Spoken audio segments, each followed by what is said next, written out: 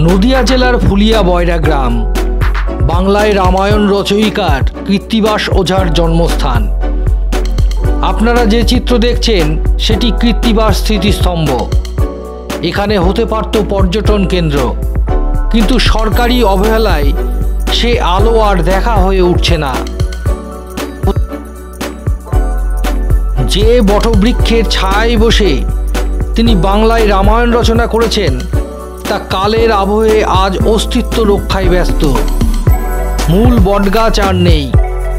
কিন্তু তার ঝুড়ি থেকে সৃষ্ট যে বটগাছটি দাঁড়িয়ে আছে, তা আজও ইতিহাস বহন করে চলেছে।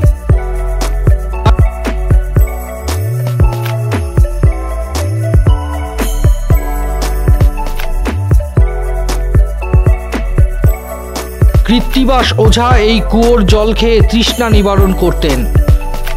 যা বর্তমানে কৃত্তিবাস কূপ নামে পরিচিত। তার হালও খুব খারাপ। কোনো সংস্কার নেই। একটি স্মৃতিরক্ষা কমিটি গঠন হলেও তাদের দৌড় শুধু সরকারি দরজায় করা নাড়া। সরকারি কোনো সাড়া না পাওয়ায় পর্যটন কেন্দ্র হওয়ায় স্বপ্নই থেকে যাচ্ছে। মেলা খেলায় টাকা নষ্ট হলেও এটি রক্ষা করার দায় কেউ নিতে চায় না। আক্ষেপ এটাই।